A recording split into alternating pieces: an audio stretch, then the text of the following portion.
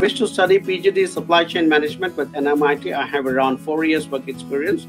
What would be my scope for PR application? About seven, eight steps you need to finish before that. You'll need to come, you'll need to study, you will need to successfully complete that course. You should not get into trouble with the law. Uh, you should get your post-study work visa. You need to pick up a relevant job. That relevant job needs to have the right salary and the right position. And that's when you apply for your residency. So it will lead to residency.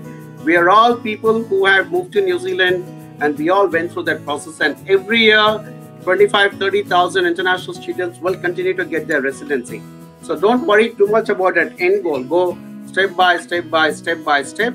You will get to that point. So, but standing on step one, if you're trying to jump to step eight, it will look very far and kind of unattainable.